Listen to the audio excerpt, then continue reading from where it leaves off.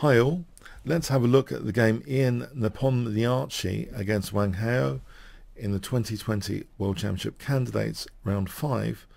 So it kicked off with e4, we have e5, knight f3 and now knight f6. The Petrov's defense, very very solid choice. Ian takes on e5, we have d6, the knight retreats back, knight takes e4, and now a trendy line is knight c3, sometimes accepting double pawns like this with ideas of castling queenside. Here we see the more classic approach after knight takes e4, which is d4. Black plays d5, bishop d3, bishop f5. So a symmetrical pawn structure, thought to be quite drawish in general. White castles, bishop e7, rook e1, Black castles, knight bd2. We see knight d6, so offering the exchange of light square bishops. White doesn't take on f5. White waits for black to take. Sometimes taking you're giving something to the opponent you don't really want to. Here, it seems as though because the situation is pretty symmetrical, there doesn't seem any big deal in any case here with black taking on d3. We have c6, bishop uh, f4, knight a6. Now here things get pretty interesting. Can you guess what Ian Nepomniachtchi plays here if I give you five seconds to pause the video? It does spice things up slightly. Okay. h4. Potentially this is a very dangerous h-pawn resulting in sometimes a thorn pawn if it's left there as a goal hanging pawn and as you know I'm a fan of thorn pawns this is actually what attracted me to this particular game to have a look at. Knight c7 is played. If the pawn is taken here then knight takes h4 leaves d6 hanging. So knight c7 is played. We have knight g5 threatening checkmate black reacts with bishop takes. g5 we have bishop takes f6, the bishop drops back, queen d7, and now knight g3 is played. So stopping black potentially from using f5 in the future. Rook a e8, and now actually this is pretty interesting as well here. White takes on d6 to get a nice knight on f5. Very dangerous. Queen d7 is played. If pawn grabbing is indulged in with queen b4. It does look at the rook, it does look at b2.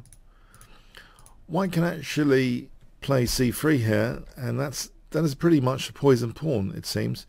After rook eb1, for example, and in this situation, queen g3 threatens checkmate, and then rook takes b7 threatens all sorts of things like rook takes and knight d6. As an example here, rook takes g7 is simple and strong. This is a very nice position for white. And even stronger, it seems, is knight d6. So with the, for example, rook e7, which is a very nasty pin, so that really backfires. That poison pawn, yeah, is resulting in black actually losing material, so that's the most crushing way to play that. So yes, queen b4 seems out of the question actually. We have queen d7 and then queen h3 with the threat of knight h6 check, which is one of my favourite tactical ideas quite often on fast time controls to win the queen like this. The king goes to h8. So just to put that on the board, if a, a5, knight h6 check, and then queen takes d7. So the king goes to h8. And we have h5. So this looks like, yes, there's a thorny pawn coming along. Rook takes e1, check, rook takes rook e8. Is black simplifying enough? Rook takes e8. We see knight takes e8. g4, a6, b3, queen e6, and then the knight comes back, blunting the queen on the e file. Nice central knight. Sometimes c4 might be dangerous. So there's still a little bit of pressure. Knight d6, trying to cope with c4 we see a thorn pawn installed now. h6 is played. It seems far too dangerous to allow fragmentation of the pawns with f6 as a target. we see g6, so the thorn pawn is left there, pawn in the side near the king. We see c4, a very interesting move indeed. And you might think, hold on, black's trying to stop c4. Why isn't this just losing a pawn? There's something extremely cunning in this position. It seems, after d takes, white just takes, and sets a gigantic trap. We see king g8 not falling into the trap. If knight takes c4, white plays knight takes c4, queen takes c4, and there's a key move in this position, which does the trick of really exploiting the thorn pawn without actually losing it. Can you see what that trick is? If I give you five seconds to pause the video here, what would you play with white? It seems it's the key move here is queen h2. It keeps hold of the pawn. It threatens the invasive, invasive queen b8 check. And if king g8, queen b8 check, and then taking here and then taking here is actually an advantage to white. We can actually transpose into an endgame scenario. If g5 isn't played, white will play g5 and we get this endgame scenario where white is winning here quite easily after king f5. So yeah, pretty deep stuff. This queen h2 idea in that variation. Let's look at that again. Queen h2. So the threat Otherwise, yeah, I mean, it's a big threat of queen b8. So very, very interesting stuff. So that's avoided with king g8. We see queen h2 anyway now. King f7. c5. Knight b5. Queen b8. So not minding d4 drop. Well, b7's attacked.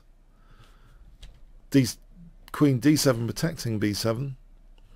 If knight takes d4 had been played, queen takes b7 check and queen takes a6, this is actually potentially it's just an even position actually. So yes, it seems as though black might have considered that continuation, but uh, actually plays queen d7. It turns out queen e7 is interesting to be able to answer queen h8 with king e6. And it seems as though this is about even. It's very, very intricate stuff. But that seems to be even, that way of uh, handling things. But in the game, after queen h8 here, with the queen now on e7, on d7, instead of e7, there's a huge difference between being on d7 and e7. So the queen on d7 after queen h8, this appears to be very, very difficult now for black. Black's getting tied up in knots, it seems. We see king e6, and it seems, well, isn't that just the same? Protecting the h7 pawn. But now we see f4,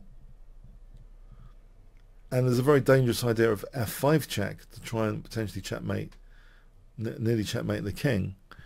We see knight takes d4, queen g8 check, and it looks as though is white just after perpetual check. So queen c8 check, queen 7, queen g8 check, queen f7. But here white varies. Can you see what white plays in this position? Which is a really, you know, quite a crushing move. If I give you five seconds pause video here. What does white play here? Yeah, Queen d8, it hits the knight and it threatens. More importantly, Queen d6 will be checkmate. So we have we see Queen d7. If knight b5 instead, that knight could just be nudged. And once d6 is released, Queen d6 checkmate. So Queen d7. But now, yeah, the Queen is only held by the King. And it's a kind of overload situation. Can you see what white plays here, which wins, essentially? Five seconds here to pause the video. Okay, f5 check. Yeah, this is dragging potentially the king away from the queen.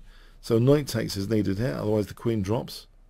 If king takes, if if not king takes, if king e5, queen takes d7.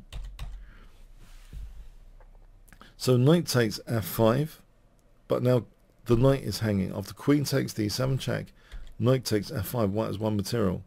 After king e6, knight e3, the game actually ended here. So yeah, a very interesting win. It seems uh, Ian Nepomniachtchi uh, managed to get some favourable imbalances going later with that thorn pawn. If we look at that thorn pawn installation, uh, that was very, very dangerous it seems. And it's a very, very cunning idea. It seems as though even though c4 was oppressed, uh, suppressed, uh, white, uh, after installing a thorn pawn, uh, was looking at queen h2 as a remarkable resource on the chessboard. So an amazingly subtle, resourceful game from white to get this pressure it seems knight takes d4 here at this critical point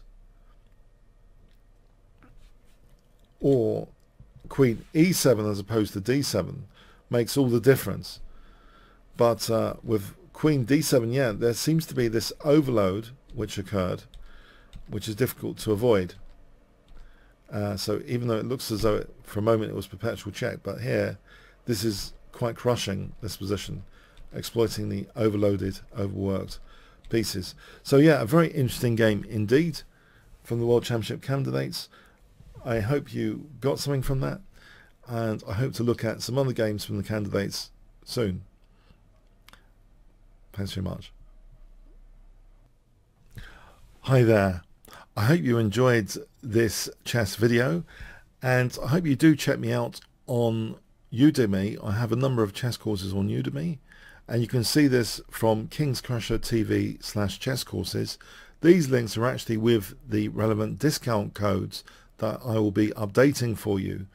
So at this point of this recording, there was this Bobby Fischer Annotated Game course, Chess Openings course, Chess Tactics course, which is actually a Udemy bestseller, a tactics training course, a London system course, my opening tango of knight c6, and there's also against d4 as well, a tango involving an early knight f6 and then knight c6 and a pawn structure course. So all of these links carry with them relevant discount codes. When you click into them, you'll see a discount code. For example, here you'll see that it's 78% uh, off.